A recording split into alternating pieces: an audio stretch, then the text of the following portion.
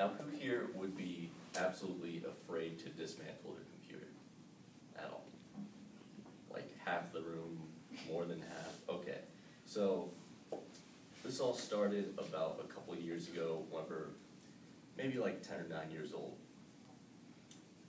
Really terrified of doing anything on the computer in general.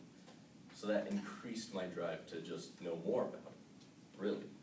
Um, so I'm more curious, curious, get to, get to high school, take a class on, uh, computer science.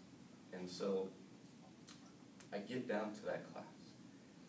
And we learn about the motherboards, the hardware, the everything.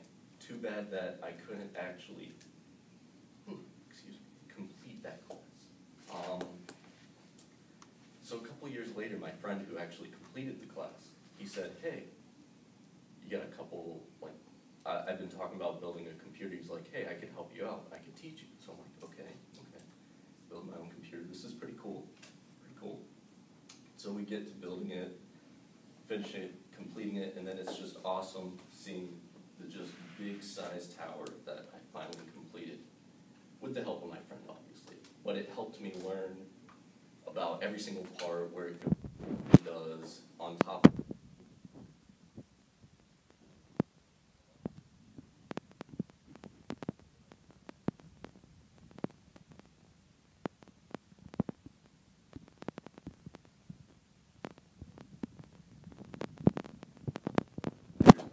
because it's just a passion that I absolutely love now, just seeing everything working, articulating how stuff fits in, et cetera, et cetera.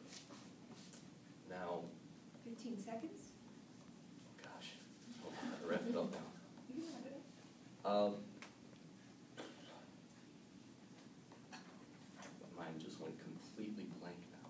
Here's a trick, if you're getting ready to end, you can't think of what to say, just say, so in summary. So in summary, I built my own computer, took a couple classes on it, and it's just something that I absolutely love. Just knowing the new parts that are coming out, the new specs, what they actually mean, what they do is all something that I love and understand, so So is it still working? it is still working.